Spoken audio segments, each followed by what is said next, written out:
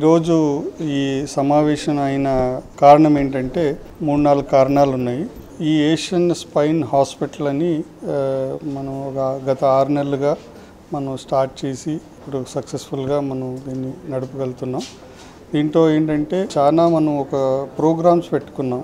దీంట్లో ఒక భాగంగా ఏంటంటే హెల్దీ స్పైన్ అనే ఒక ఒక మిషన్ని మనం స్టార్ట్ చేసాము ఈ హెల్దీ స్పైన్ అంటే ఏంటంటే మనకి ప్రివెంటివ్ స్పైన్ మీద ఎక్కువ ఫోకస్ పెట్టి స్పైన్ ప్రాబ్లమ్స్ రాకముందే దాన్ని ఎలా ప్రివెంట్ చేయాలి అనే ఒక ఫోకస్ మీద మేజర్గా మనం దీన్ని స్ప్రెడ్ చేస్తున్నాం in the form of awareness.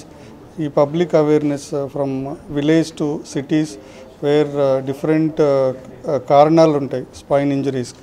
దాన్ని రాకుండా ఎలాగ ఒక రైతుకి స్పైన్ ప్రాబ్లం రాకుండా ఎలాగ ఉండాలి? ఒక సాఫ్ట్వేర్ ప్రొఫెషనల్ స్పైన్ ప్రాబ్లం ఎలా రాకుండా ఎలాగ ఉండాలి అనే ఒక అవేర్నెస్ ప్రోగ్రామ్స్ మనం ఈరోజు స్టార్ట్ చేసాము.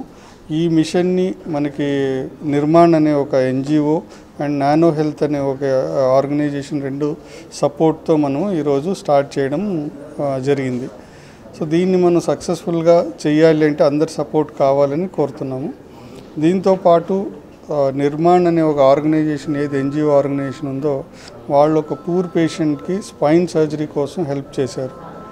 మనం ఏషియన్ స్పైన్ హాస్పిటల్ గ్రూప్గా మనం కూడా దానికి కార్పొరేట్ సోషల్ రెస్పాన్సిబిలిటీ కింద మనం కూడా మన ఫీజు వేవ్ ఆఫ్ చేసేసి హాస్పిటల్ ఫీజుని సో మనం కూడా హెల్ప్ చేయగలమైంది. సో దానికి టైమ్లీ వాళ్ళ సహాయం అందడంతో ఏషియన్ స్పైన్ ముందుకు రావడంతో అమ్మాయికి టైమ్లీ సర్జరీ జరిగి ఈరోజు ఆ అమ్మాయి మళ్ళా కాళ్ళ మీద నిలబడి నడిచి ఆ అమ్మాయి పనులు అమ్మాయి చేసుకోగలుగుతుంది.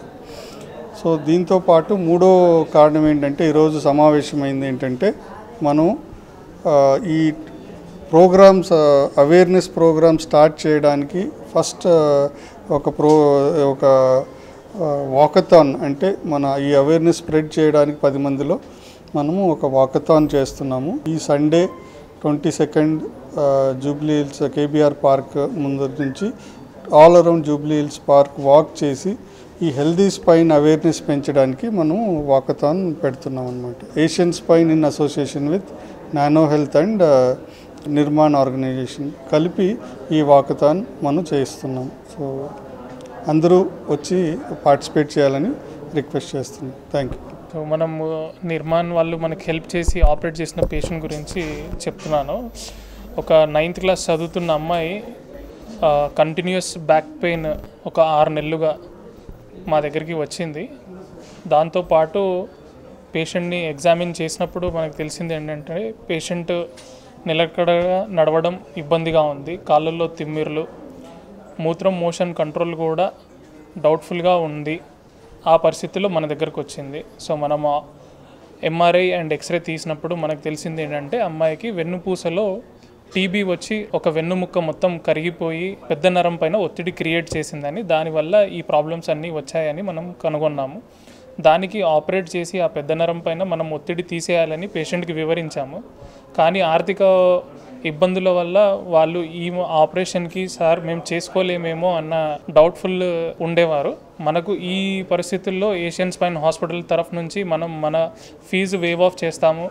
ఒక స్కూల్కి వెళ్ళి అమ్మాయికి హెల్ప్ చేద్దాము అన్న దృక్పథంతో మనం నిర్మాణ సంస్థను అప్రోచ్ అయినప్పుడు వాళ్ళు కూడా మనకి హెల్ప్ చేసి ఆర్థికంగా ఈ యొక్క పేషెంట్ కోసం ఆపరేషన్కి మనకు చాలా హెల్ప్ చేశారు. ప్రస్తుతం పేషెంట్ చాలా హ్యాపీగా ఉంది. తన కాళ్ళపైన తను నడుస్తుంది. ఏ నొప్పి లేకుండా తన చదువు కంటిన్యూ చేస్తుంది. ఈరోజు మనము healthy spine your goal our passion ప్రతి ఒక్కరికి ఉండే మన ఒక వెన్నుముక్కకి అండ్ బ్యాక్ బోన్ ప్రతి ఒక్కరికి లైఫ్కి ఒక మనిషి నిలబడగా చేసేది స్పైనే ఆ స్పైన్ అనేది ఎంత హెల్దీ ఉంటుందో మనం అంత యాక్టివ్ లైఫ్ ఉంటామో.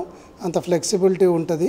దీనికి బ్యాక్ పెయిన్ నెక్ పెయిన్తో ఇబ్బందులు పడే కంటే దాన్ని ప్రివెంట్ చేసుకొని రోజు మన మనసులో కాన్షియస్గా ఒక స్పైన్ గురించి మనం ఆలోచించే విధంగా చేయాలనే ఒక సంకల్పంతో ఈ హెల్దీ స్పైన్ మిషన్ని ద్వారా వాక్ ఫర్ హెల్దీ స్పైన్ రోజు అందరం నడుస్తాము. ఆ నడిచేటప్పుడు స్పైన్ గురించి ఆలోచించేలా చేయాలని వాక్ ఫర్ హెల్దీ స్పైన్ అనే కార్యక్రమాన్ని మే ఇరవై రెండు ఆదివారము కేబీఆర్ పార్క్ చుట్టూ అందరము నడుచుకుంటూ తిరిగి మంచి ఆహ్లాదకరమైన వాతావరణంలో స్పైన్ సమస్యల గురించి చర్చించి ఇవి సమాజంలో ప్రతి ఒక్కరికి ఈ బ్యాక్ పెయిన్ నెక్ పెయిన్ అనేది రాకుండా చేయడానికి మన అందరి ఒక బాధ్యతను నిర్వర్తిస్తూ ఈ యొక్క కార్యక్రమాన్ని జయప్రదంగా చేయాలని కోరుకుంటున్నాను. జై హింద్.